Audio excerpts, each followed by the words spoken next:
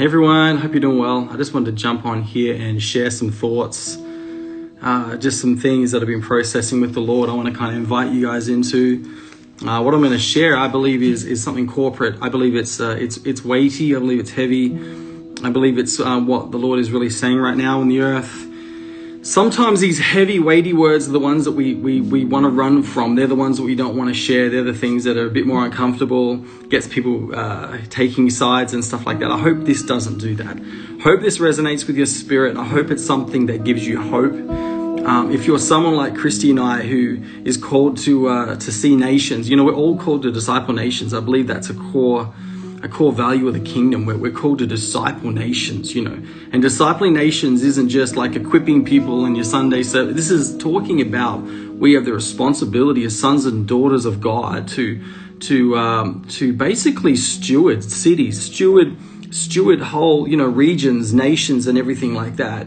And in that, there is this call to be watchmen. In that, there is a call to almost like saying, you know, what goes on in this place? You know, I, am protective over it. I'm like a midwife over my region or over my city or over my nation. There's something in me that is just like, I, I can't allow evil and injustice to go unchecked. It's like there is a core value, right? There is a core value that I have that I can't just sit in my little bubble, my little Christian goldfish bubble, my little silo, and go about my life and think that that's going to be kingdom.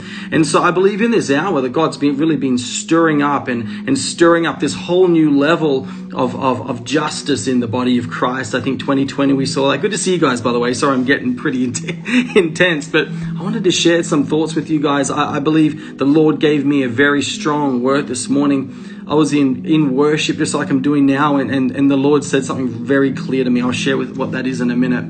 But you know, like when it comes to our children, when it comes to seeing generations to come, you know, God wants us to begin to um, fight and stand up for the things that will that will impact and uh, the things that will really either cause our, our children to live in peace, live in revival, or our children to live in chaos. And right now, God is stirring up the body of Christ to stand up and not hide in a moment of conflict. And this morning, as I was praying, actually, I'll quickly go back to one thing. At the beginning of the year, the Lord was speaking to me about this would be a year, this would be a year of justice. And I believe that we saw a lot of opposite of that. I do believe that in Je- in December, the Lord gave me a word about justice quakes, justice shakes going on in the nations. And I'm like, God, God, where are those things that you showed me? There, where are those things that you showed me? The justice quakes, the justice shakes. Why does it seem like the earth seems to be, you know, constantly going in the other direction in so many areas of our values and stuff like that? And and the, the word that the Lord gave me was there is there is justice has been delayed. It reminded me of the story of Daniel where he was, you know, he had prayed and the answer hadn't come. The answer hadn't come yet, you know. And then the angel of the Lord came to him and he said, Actually, from the moment you've, wow, feel the anointing now. Thank you, Holy Spirit. From the moment you first started praying, God heard you. But then he said that he was intercepted by the prince of Persia, right? The prince of Persia came, this demonic principality, and actually delayed the answer. I believe we've been in that place. Interestingly, the prince of Persia, the word Persia means division, divided tongue, divi- division. And I, I, feel like the, the enemy has really stirred up division in the body of Christ so that it would further um, exacerbate this whole spiritual scenario that justice has been delayed. But this is the thing, and I shared this recently there is a difference between um, the interruption of the enemy and the disruption of the Lord. And the enemy may interrupt and he may try to delay, but it does not stop the word of the Lord being fulfilled. Okay? It does not stop the word of the Lord being fulfilled. Now, what I want to share with you today is this. Yes, justice has been delayed, but I need to prophesy and I need to stand by this justice is coming. We're about to enter into a time where we see justice coming from the left and from the right. I need to prophesy this that we're going to see restoration come in so many different places. It's going to shock you. It's going to shock us to see the level of justice that's going to break out in our lands. This morning, I was in worship and I heard the Lord say this. He said, Nate, watch for the writing on the wall. He said, Nate, watch for the writing on the wall. And I quickly grabbed up my Bible. I looked up Daniel 5, and I need to quickly kind of recap this for you, okay? Daniel 5. Belshazzar, the grandson of Nebuchadnezzar, okay, the guy who built the idol to him, you know, the statue to himself. Obviously, the God's people were in captivity still. Daniel was still serving in that kingdom under captivity. This is what it says, okay? Belshazzar made a great feast for a thousand of his lords, okay? And he drank wine in the presence of the thousand. He gave the command to get the gold and the silver vessels which his father Nebuchadnezzar had taken from the temple which had been in Jerusalem. The temple, God's God's temple. He took those very gold goblets and all that stuff. And it says this, and they they drank from them. They brought the gold vessels from the temple um, and they drank from them. They praised the gods of gold and silver, bronze, iron, wood, and stone. Okay, so we're seeing yet this parallel between this story here and even even Psalm 2, where it says the nations rage. You know, it speaks about it speaks about the, the, the earth, the earth's kings, little K, defying the Lord and his values, wanting to remove God, seeing you know, that's exactly what the Antichrist spirit wants to do is remove God, wants to move the wants to remove the gospel from schools, wants to remove godly values from every part of our society. That's what that that's what that thing does. That Antichrist spirit, that, that anti-God spirit wants to remove. He wants wants it to be okay that abortion is an, an option. He wants to make it okay that we you know, that we do all these different things that work against the values of the kingdom. But this is what the Lord says. I want, I want to attend, draw your attention to the answer for a moment, okay? Because right now we're looking at all the different things that are passing right now. Even in my own heart, I've said, Lord, how come Roe v. Wade has not been overturned yet? God, how come there's all these demonic acts and different different bills that are being passed in the world. What is going on? And the Lord just keeps, He's been continuing to say to me, justice has been delayed, but it is not thwarted. Okay? Justice has been delayed, but it is not thwarted.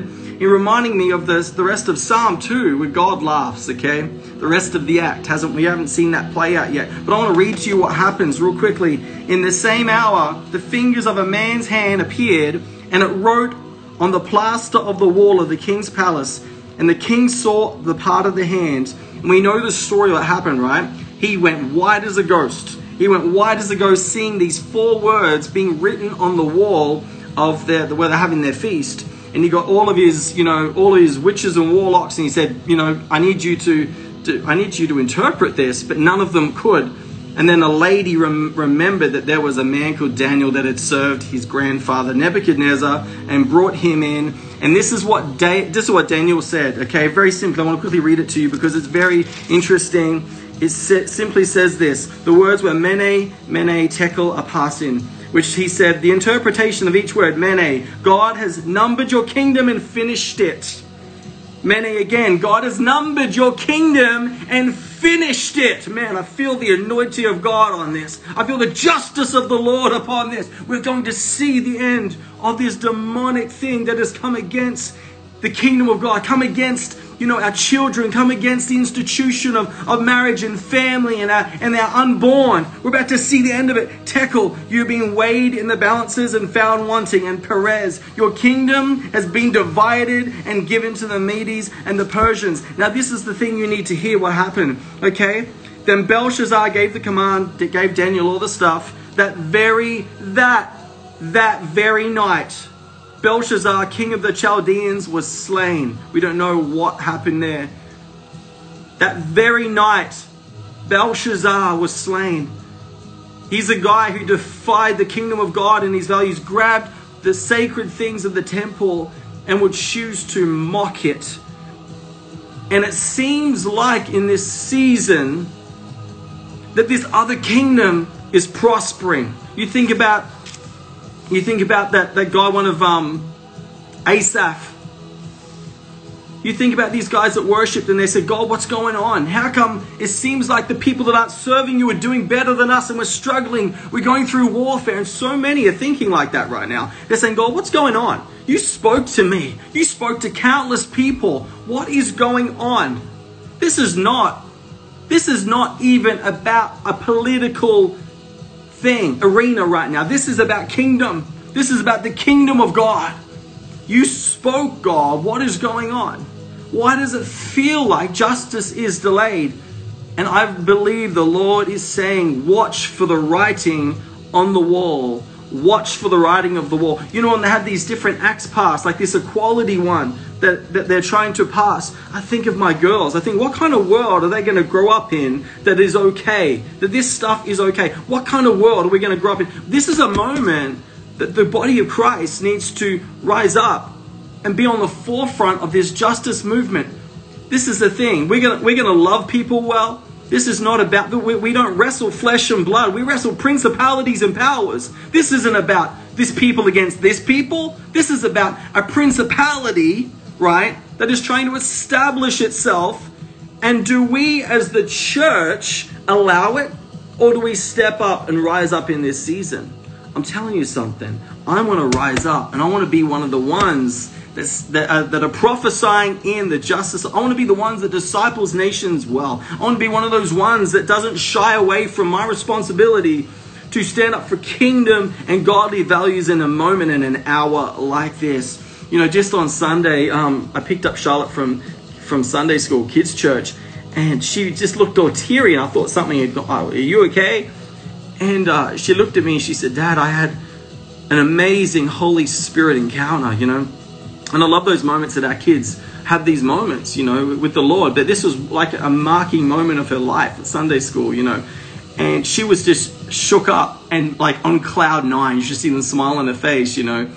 And um, she, I said, What happened? She said, I could barely get off the ground. I was crying and laughing, and God was speaking to me.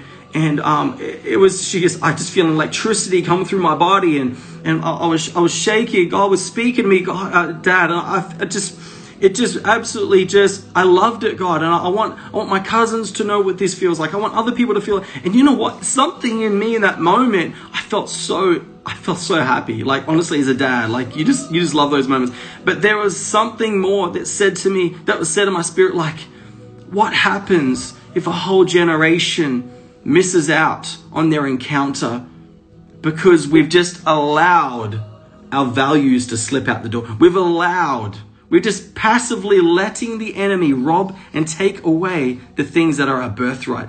Well, I want to say it over you and over your city and over your nation, watch for the writing on the wall. Stand with me, pray with me, and watch what God's going to do. Think we're going to see giants fall in this next six months, people. Stay standing. Love you all and talk to you soon. Thanks for thanks for hanging out with me here in my rambling. Love you all. Bye.